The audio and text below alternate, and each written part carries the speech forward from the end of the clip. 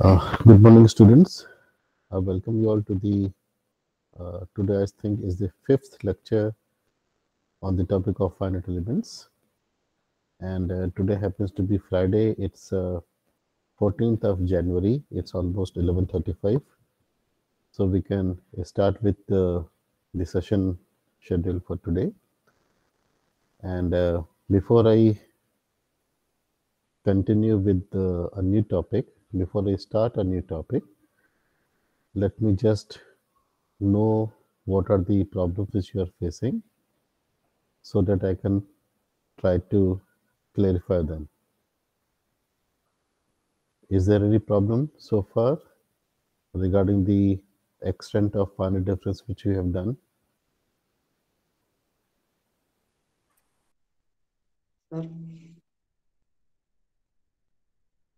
हाँ जी बताइए uh, uh, sir can I, I have a small doubt in the yesterday's codes can I yesterday codes yeah, uh, yes means in the let me let me bring the code on display okay sir. and then uh, obviously it's going to take a couple of minutes and in the meanwhile if there is any other doubt from any other student he can speak up huh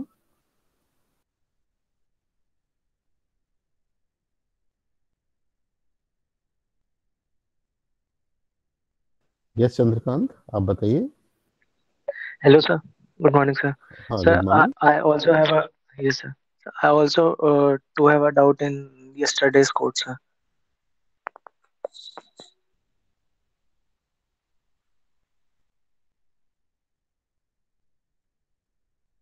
yesterday's code was regarding the heat transfer okay that is the yes, sir. yes sir. code which we are talking about yes sir just a moment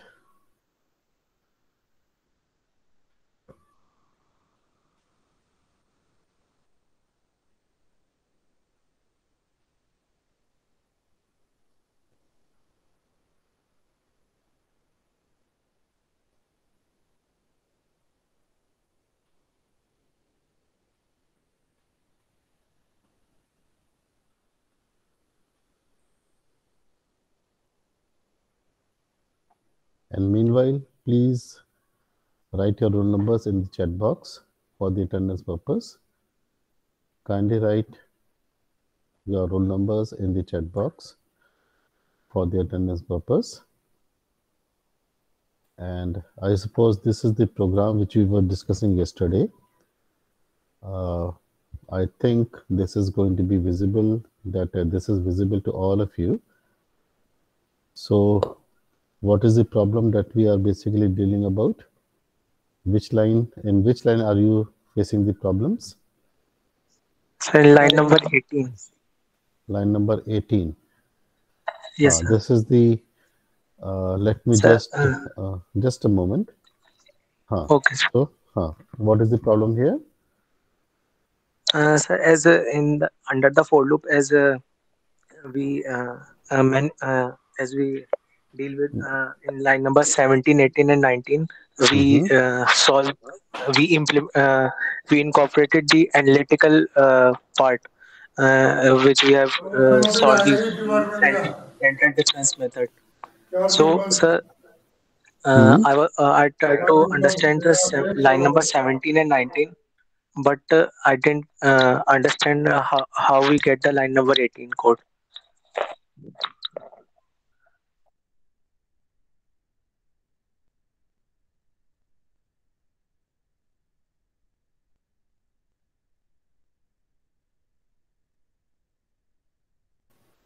Uh, just a moment. Uh, I was not able to catch what you are, uh, what you are speaking. Uh, can you repeat it? Uh, before you actually repeat it, let me just explain one thing. That in line number 17, I am audible. no? That is, I understand that I am going to be audible. In line number 17, uh, let me just bring the the. This is this derivation is also visible now. Yes, sir. So the thing is that the uh, governing equation consists of uh, two parts that is two terms on the left hand side so we have the term which represents the heat transfer because of conduction for which we are going to use the central approximation and the other part happens to be the heat transfer corresponding to convection and since the convective term does not involves any differentiation it is going to be uh, what shall I say placed as it is. Okay. Now coming to the right hand side, in right hand side we have two terms. Uh, that is the first term corresponding to the um, corresponding to the internal heat generation and the second term corresponding to the convective loss. And since these two terms on the right are not varying with respect to space okay uh, this is uh, it is going to be constant quantity at every node now this is not varying with respect to space coordinate because uh, the heat generation is not a function of space delta v uh, because we are taking a cylinder of a constant uh, uh, cross section area delta v itself is going to be constant Similarly, heat convective factor H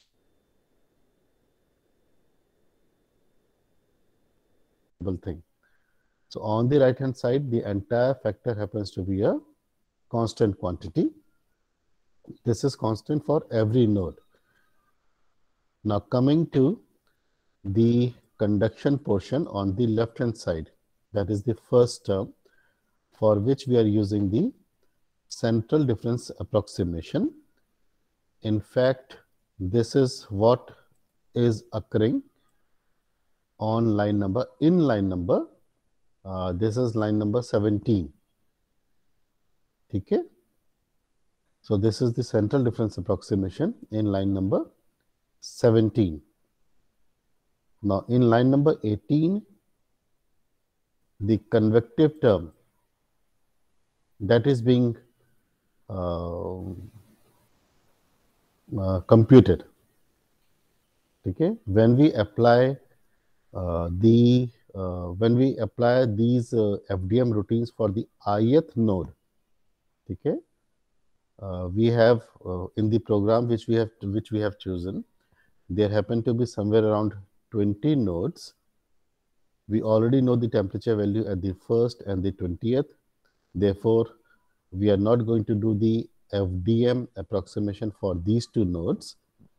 We are going to do the FDM approximation for the uh, remaining 18, that is from node number 2 to node number 19. And we are going to apply the FDM approximation uh, to one node at a time. So when we apply the FDM approximation to the second node, we get the second equation okay i told you yesterday that the number of equation is going to be same as the number of node to which the FDM approximation is being applied. So when we are applying the approximation to the second node, it gives us the second equation and that is going to be stored in the second row of the stiffness matrix. Similarly, when you carry out the FDM approximation, for the fifth node, it is going to give you the fifth equation and that is going to be stored in the fifth row of the uh, stiffness matrix. So in line number, uh, just a moment, uh, in line number 17, we have the uh, conductive term, okay, that is the uh, central difference, okay. And in the ninth, in the 18th node, we have the convective heat term. And in the 19th, of course, we are calculating the uh, force, which is going to be a constant quantity at for all the nodes. And it's going to be on the right hand side of the uh, equation. अब बताइए अब क्या clear नहीं है ना please understood sir.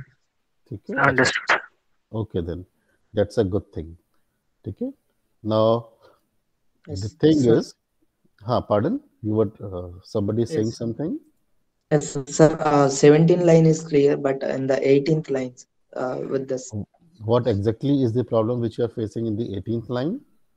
18th line, you said that uh, that is the for convective part, which is fixed value. which is? Fixed value means uh, no change HA into T. Eh, But just a moment. have uh, just a moment uh, HAC and into T is meant for the 18th value, 18th line, right, sir? huh, uh, this particular term. Yes, sir. okay. In this particular term convective term temperature T is the unknown quantity. Yes. okay? So therefore this is going to be in the left hand side of the equation. It is going to be clubbed in the stiffness matrix. But since atmospheric temperature is a known quantity which is T naught over here uh, all the known quantities are basically kept in the right hand side so we have uh, known value of Q a known value of delta V, H, AC, T naught, all these are known quantities. So all of them are in the right hand side. Now the thing is, excuse me, uh, when you do the FDM approximation for the ith node, okay, FDM approximation for the ith node, the conductive term is going to have three temperatures in the approximation. Okay, the conductive term, because it is being represented by the central difference approximation, the conductive term is going to have three terms in its approximation.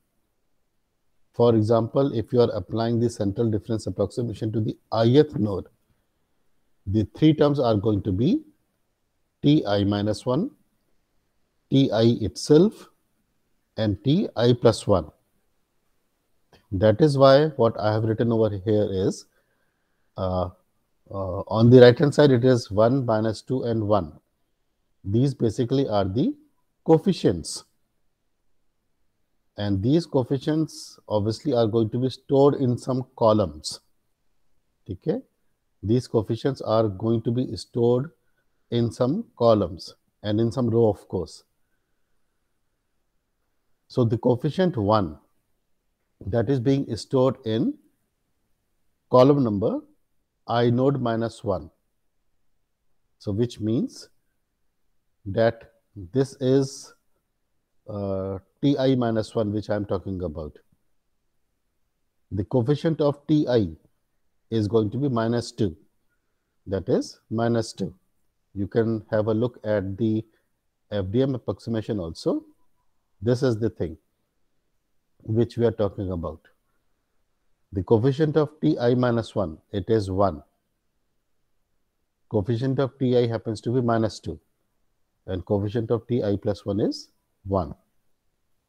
So the coefficient of Ti minus 1 that is 1 is being stored in i minus 1 column and this coefficient minus 2 is being stored in ith column and the coefficient over here for the last term which is 1 once again is being stored in i plus 1 column.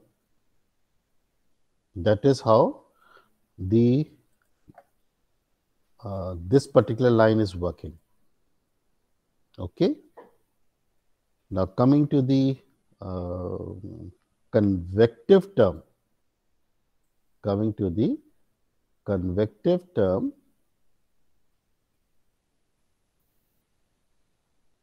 just a moment.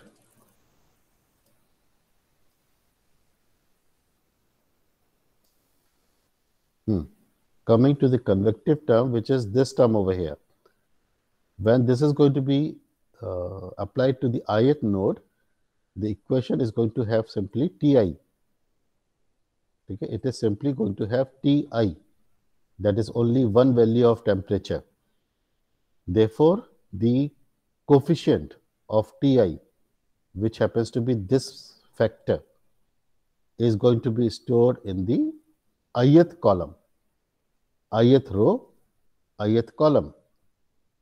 Therefore, we have ith row, ith column over here. Okay? And then the last thing to be noticed is that when the 17th row, uh, 17th line is being executed, we already have something in the in the uh, ith column, which is this particular minus 2. And in the 18th equation, which is this equation, we have a new term that is this particular thing. So what we are doing over here is, in line number 18 is, that we are adding the convective portion to something which was already present in this particular location when the 17th uh, line was getting executed. Okay. That is why K I node I node is appearing in both the places. K I node i is equal to K I node I plus this thing. So basically this means that whatsoever was initially present at this location, us cheez mein, this particular quantity has been added up. Okay? Sir. So this is how this is working. I can give you more examples, uh, more basic examples if you want. For that I can write, uh, let's say, uh, another much simpler code. But uh, if it is clear, if this is clear, then nothing to uh, worry about. Uh, sir, हाँ अ, कौन हाँ जो भी बोल रहा है late kindly speak out okay. sir. In the same time, you told that uh, means uh, the convective part is HEAC into TI. HEAC means uh, H is my H means uh, convective H coefficient. Convective, huh? Yes. Coefficient and A means uh, convective area. That is two pi r into L. Means we have to multiply that uh, K I node K of I node I node into uh, means we have added there, sir. But ah, I am yeah. thinking that it, it must be multiplied because it is HAC into TI, right, sir? But we have added it as a k i node i node plus 2 pi r h we have written the the contribution of this this particular term. Okay the contribution of this term goes to i minus one column ith column and i plus one column. Okay the contribution of conductive term goes at these three places. This is clear? Yes okay. sir.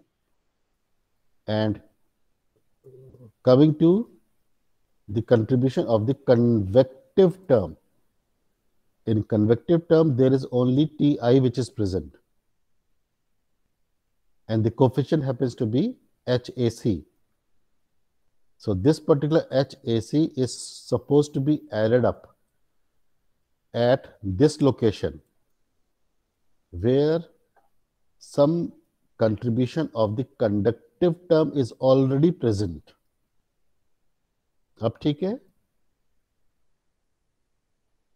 so we are so at this location this column we are having contributions from both these terms but at the remaining places remaining two columns the contributions are only because of the conductive term अब clear है yes ठीक है this is h into ac this is the convective term and this is h and this is uh, the cross section 2 pi r क्योंकि वो delta x cut जाता है ना this we talked about yesterday or I can write uh, I can split this particular equation if you want Just a moment. That is hardly going to take any time.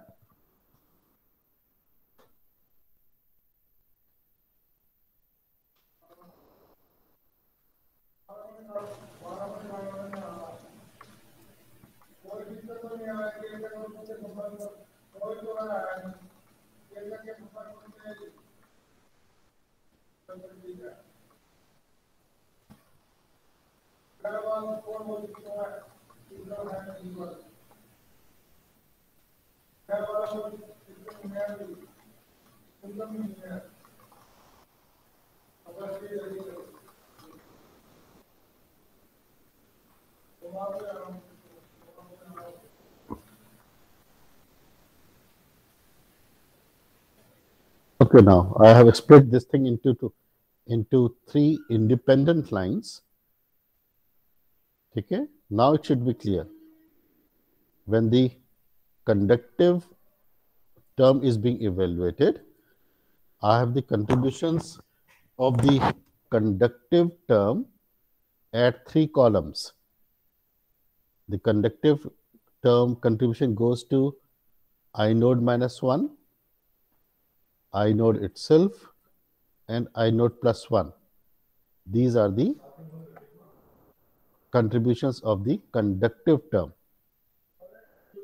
And then the convective portion has to be added up to what is already present in this particular column, column number I node plus uh, column number I node. So this is the, this is how it is written. Okay. Some expressions such as x is equal to x plus 2. Okay. X is equal to x plus 2. So if the initial value of x is, let's say 10, when you evaluate x is equal to x plus 2, the new value of x is going to be 12. Okay. I suppose this is clear now. But Yes, still, sir. if there is some problem, do let me know. Okay, anything else?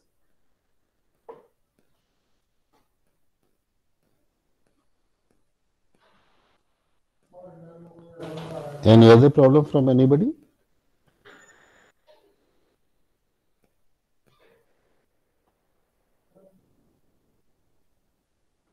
These are some basic uh, mathematical manipulations and uh, these should be clear. These have to be clear.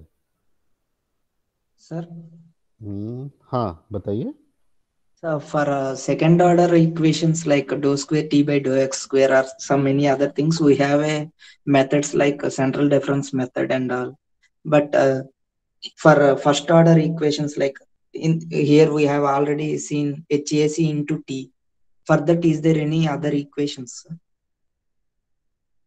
for which first order Ah, yes, sir.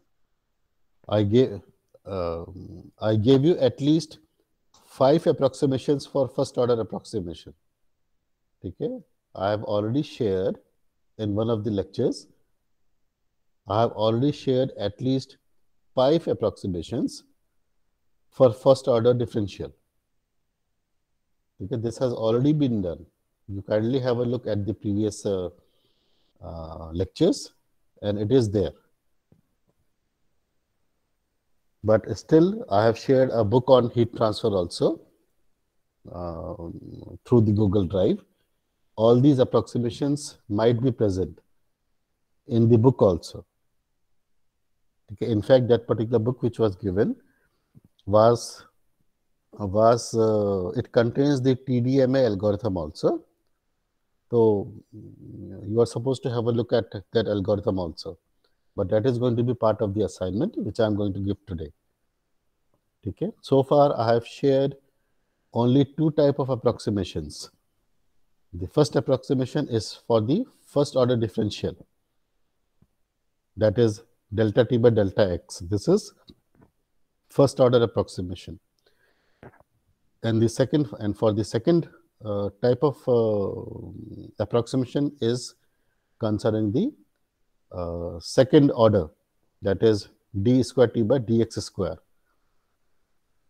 Okay, these are the only two type of, uh, of approximations which I have shared so far. But there are plenty of other approximations such as uh, cube का भी होता है d cube t by d x cube इसका भी approximation है fourth order का भी है and so on but from from the engineering point of view we limit it we uh, concentrate only on few of the approximations. Otherwise the as far as the mathematicians are concerned they can go on developing any number of approximations they want. We engineers do not work in that way. We are more uh, interested in solving some practical problems. Okay? Mathematicians can do whatsoever they like whether it has some application uh, practical application or not anyway any other thing to be uh, clarified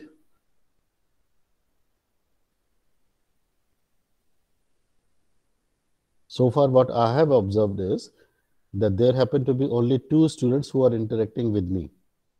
Okay, obviously this is evident also. All of you might be, uh, this is, every discussion is in front of you all. What I have been observing is that there happen to be only two students who appear to be interacting with me. But as far as the rest of the class is concerned, uh, I'm not sure what their progress is.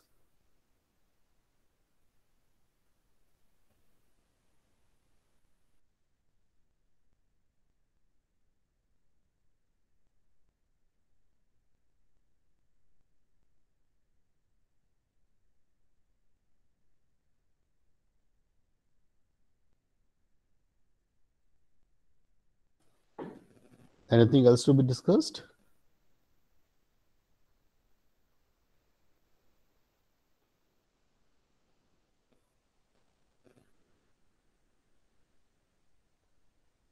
Okay, in that case, uh, we can move forward to the next derivation, which I'm going to post uh, somewhere in somewhere today, uh, not right now. The next derivation is the um, is for the transient behavior of the same problem which we have taken. The problem which we have done so far uh, corresponds to the steady state temperature distribution of a one dimensional case that is cylinder of course. The next is going to be the transient analysis of the same problem in which temp in which the temperatures are going to vary as a function of time and as a function of space also. Okay. After this has been done, we are then going to move forward to two dimensional steady state formulation that is uh, something like we have a plate. Uh, it has some thickness, of course, and then there is some internal heat generation. There are some boundary conditions, and we are going to see that what is going to be the uh, steady state temperature distribution in the plate. After this has been done, we are going to move forward towards its um, transient analysis. After this, we will do the three-dimensional case both steady state and transient. Okay? And for the time being, we are applying only one type of boundary condition. That is, we are specifying only temperatures in form of boundary conditions. But the reality is that I can or uh, we can specify flux also in form of a boundary condition. Uh, something like uh, something like uh, there is a domain and at the end of the domain there is a constant quantity of heat which is being lost to the atmosphere something like that so we can apply the flux also as the boundary condition and in fact i have shared a particular chapter also which uh, deals with the with all these boundary conditions. That particular chapter is, I'm not sure from which book it is, but I was able to find it on the internet that has been shared, uh, something like 60 pages, You can go through it. It has a number of uh, solved examples prescribing, uh, describing how the boundary conditions, how the various type of boundary conditions are going to be tackled. And please note that though we are dealing with finite difference at the time being, there are plenty of similarities when you compare uh, FDM and FEM, such as how the boundary conditions are going to be tackled, how discretization is being done, how the programming is being done, or maybe how the uh, solution is being obtained, how the plots are being made, things like that. Okay, so please uh, try to understand thoroughly because once we start with finite element, all the things which we have done over here under the topic of finite difference, they we might simply not have enough time to do them once again. ठीक है हमें दोबारा करने का समय नहीं मिलेगा so uh, anything which is not uh, Suraj has to say something yes Suraj हाँ सूरज बताइए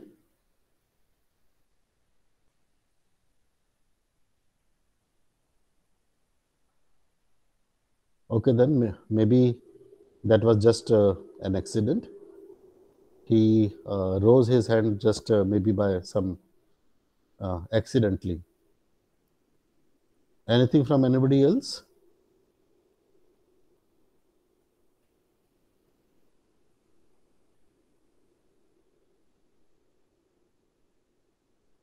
Okay, then. In that case, we can conclude today's session. And uh, I will be posting the uh, lecture on transient analysis pretty soon. And uh, on Monday uh, we will meet at a suitable time. And then we are going to discuss the formulation and the programming part of it. Okay okay then that's it for today have a nice day thank you and if there is still somebody missing who has not written the attendance kindly write it down in the chat box.